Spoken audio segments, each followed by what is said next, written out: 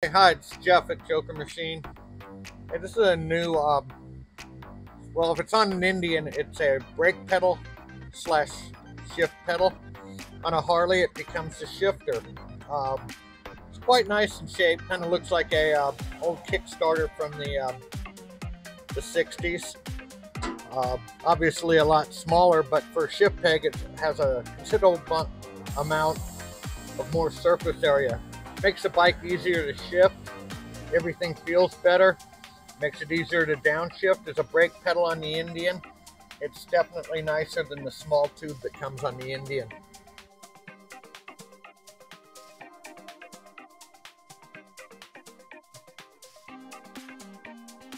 As you can see on the bike, the shift peg is considerably uh, bigger and more surface area than the uh, OEM shifter, which I don't know, maybe I'm old and have sensitive feet, but I like a lot of surface on the shifter. It uh, just makes the feel of it uh, and the action of it a lot smoother. There's actually quite an advantage to how large the shifter is. Hope you like it.